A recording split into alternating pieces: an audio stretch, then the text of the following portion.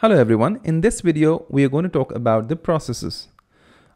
So as we discussed in the previous video that a process is nothing but a program which is in the execution state.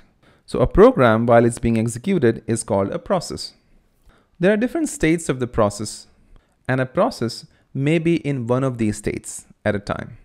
It can be in the new state which means the process is being created it can also be in ready state, which means the process is waiting to be assigned to the processor, right? So it's in the ready queue and the CPU is basically going to be assigned to this particular process and executed. It can be in the running state as well, which means instructions are being executed and it can be in waiting, suspended or blocked mode as well. So the process is waiting for some event to occur.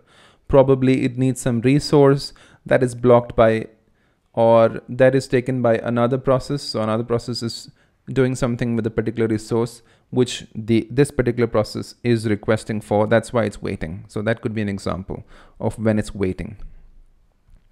It's halted or terminated. The process has finished its execution, so it's halted or terminated.